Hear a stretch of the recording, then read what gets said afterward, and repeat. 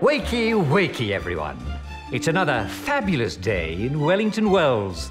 The weather is only slightly rainy with streaks of lovely sunshine.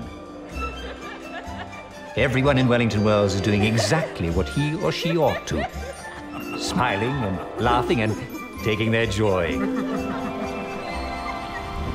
What about you? That's right. I'm talking to you. Are you doing what you should? of course you are. After all, you're not a downer, are you? We know what to do about downers, don't we?